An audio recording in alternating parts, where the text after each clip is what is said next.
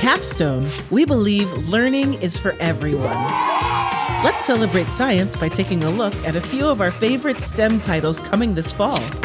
The Big Bad Wolf is back, but the three little pigs have a secret weapon. The fourth little pig, Penny.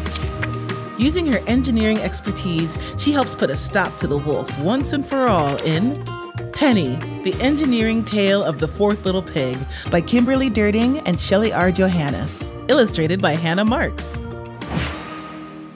And from across the solar system comes Moving to Mars, where Mars has his cherished peace and quiet disturbed by uninvited guests.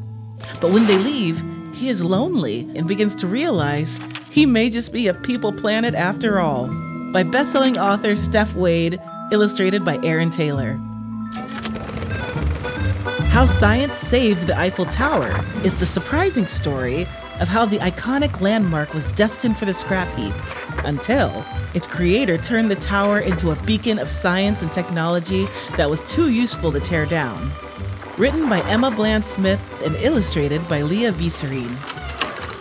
And in collaboration with Smithsonian's National Zoo and Conservation Biology Institute comes Elephants on the Move.